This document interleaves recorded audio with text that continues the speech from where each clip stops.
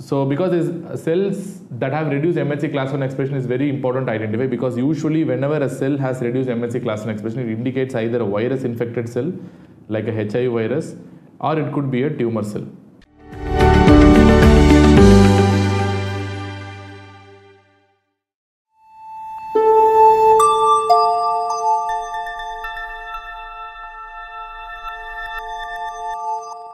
In this particular video, we are going to discuss only on the origin of the natural killer cells, at the same time the mechanism actions of the natural killer cells and probably the surface markers of natural killer cells which is important for identifying the NK cell neoplasms.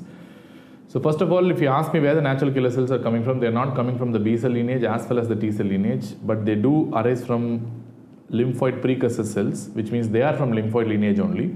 They arise from lymphoid precursor cells, but the exact mechanism of what is the cell of origin and how they mature is clearly not understood. Even many immunology books do not give this exact mechanism of maturation and development of natural killer cells. But we know that these cells do exist. So what are the markers of these cells? The markers of these cells are typically two markers. Other one is called CD16 and second one is called CD56. These are the two markers. The way to remember these markers for natural killer cells, you have a traditional mnemonic for this. We call them as sexy 16 or natural killers. You can remember. So you can write sexy 16 on natural killer cells. So they are natural killers. Obviously you know that. So this is the way to remember your NK cell markers. At the same time, you also have to know what are the ways that the cells exhibit their killing mechanism. The first way how the cells, natural killer cells exhibit their killing mechanism is by, you know, like um, detecting cells, those have reduced MHC class 1 expression. So whenever a cell has reduced MHC class 1 expression, those cells will be targeted for killing. How they do that, let us see in some time. And second mechanism, how they exhibit their killing function is by uh, using some mechanism called ADCC. This is called as antibody dependent cell mediated cytotoxicity. This is what we are going to call it as. This is called antibody dependent cell mediated cytotoxicity. And uh, they also mediate uh, one more mechanism that is called cytokine production. So they also do produce certain cytokines and again by cytokine production also they can exhibit their killing. So first let us see the, I mean how they do by reduced MHC class 1 expression. So because cells that have reduced MHC class 1 expression is very important to identify because usually whenever a cell has reduced MHC class 1 expression it indicates either a virus infected cell like a HIV virus or it could be a tumor cell or it could be a tumor cell. So that is why identification of the cells and killing them is really important. So how they do identify. So naturally you have the target cell and second one you have your NK cell. And what are the receptors that activate and inhibit them? So first you can know that uh, the important inhibiting receptor on the target cell is MHC class 1 the MHC class 1, if it is present, it has to inhibit the target cell, I mean to inhibit the NK cell so that the killing will not happen. And the NK cell side, you have a receptor called KIR receptor and the net effect, if this recognition happens, net effect on the NK cell will be inhibiting, inhibiting action. Number two, on the target cell, you have a receptor for activation also, like uh, this is called an activating receptor. So activating receptor is classically something called MICA or MICA. This is a very important activating receptor from the target cell. The cell also tells that I've been infected or I'm an abnormal cell. So that is done by producing, expressing certain, uh, you know, like uh, uh, markers called MICA. Then you have a the receptor on the NK cell side that recognizes this activating ligand that is MICA that is NKG 2D or LY49H. So these are the two important receptors, you know, the important ligands probably that recognize this MICA receptor. So the net effect of this interaction will be activating interaction. So this is how they recognize, you know, like uh, the cells that have reduced MHC class 1 expression or an abnormal cell like a tumor cell or a virus infected cell.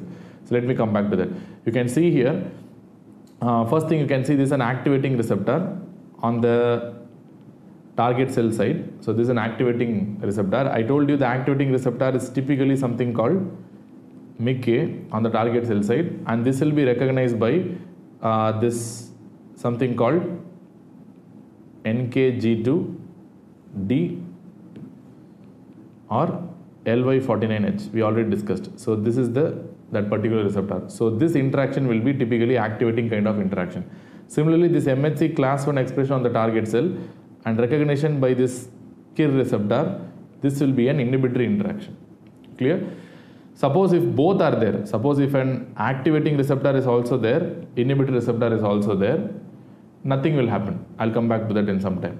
Suppose if you have if you don't have mhc class 1 expression if you don't have this mhc class 1 expression what is going to happen is only the activating interaction will be there which means it will activate the nk cell and there is no inhibiting interaction which means the cell doesn't possess this mhc class 1 to inhibit the natural killer cell so they are going to release their granule and they are going to produce cytotoxicity and they are going to kill this particular target cell so the granule release will produce something called granzymes and perforins. These are the important granules. At the same time, they also produce certain cytokines.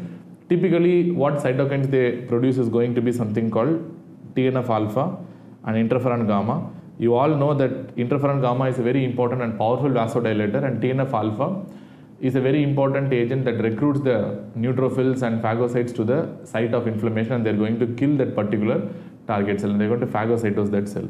So this is what is going to happen. So, but I didn't tell you what are the interactions. Suppose let us see the different kind of interaction that happens. So let us see activating receptor, inhibitory receptor. I told you if activating receptor is present and inhibitory interaction is not present, the net effect will be to kill that particular target cell. This is where the killing happens, where the inhibitory interaction, that is MHC class 1 is not present and the activating interaction through MIK is present. So the effect is to kill the particular cell. Any other combination will not have any effect. For example, if you don't have activating receptor and you have only inhibiting receptor, no effect. The cell will not be killed. Similarly, if both activation and both inhibitory receptor are present, still there will be no effect and killing will not happen. That's what we see the saw the example in that particular diagram. If both are absent also, still you will not have any effect. So the only combination that makes the natural killer cells to kill a particular target cell is when the MHC class 1 is down regulated, which means the inhibitory interaction will not be there, but the MIK will be overexpressed. That is that the activation, activating interaction will be present. So this is the place where the target cell will be killed. So this is what we refer to as something called, you know, like natural killer cell mediated killing. NK cell mediated killing in cells that have reduced MHC class 1 expression.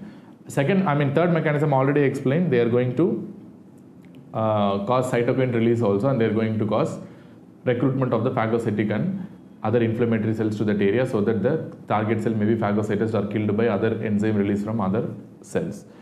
Second mechanism which we didn't discuss that is antibody dependent cell mediated cytotoxicity. So what do you mean by antibody dependent cell mediated cytotoxicity? I told you already, very important, whichever cell that is coated with antibodies. This is what we refer to as something called opsonization one of the important opsonizing receptors we already discussed that is opsonizing immunoglobulins we discussed already is immunoglobulin G. This is the best opsonizing immunoglobulin ever available.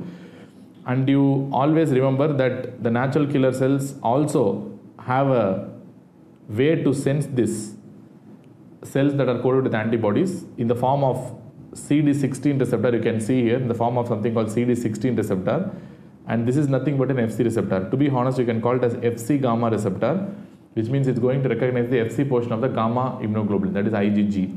So this is what we refer to as CD16, one of the important markers of natural killer cells we discussed already.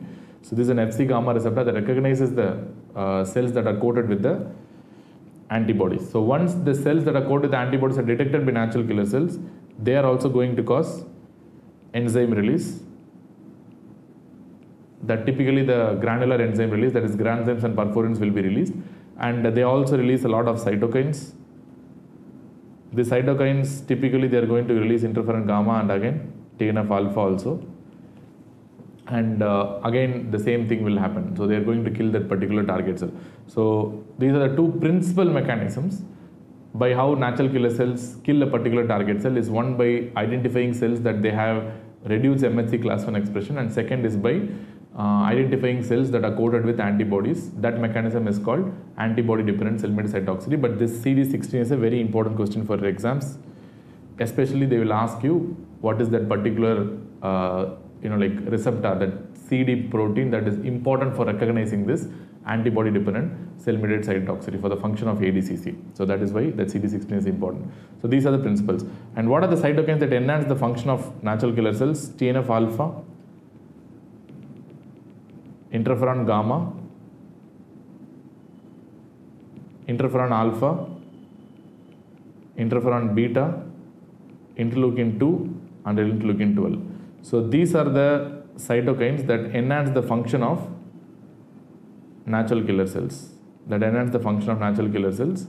With addition as I already told you TNF alpha and uh, interferon gamma to an extent can also enhance the function of natural killer cells but this is the major cytokines. These are the major cytokines that are going to enhance the interaction of that enhance the function of the natural killer cells. So but in exam most important thing is this markers that you have to know that is cd16 and 56 for natural killer cells. So i think uh, we have made a very very short one but an interesting one on how natural killer cells are going to work. So with this we can conclude this particular video and we can move on to the next topic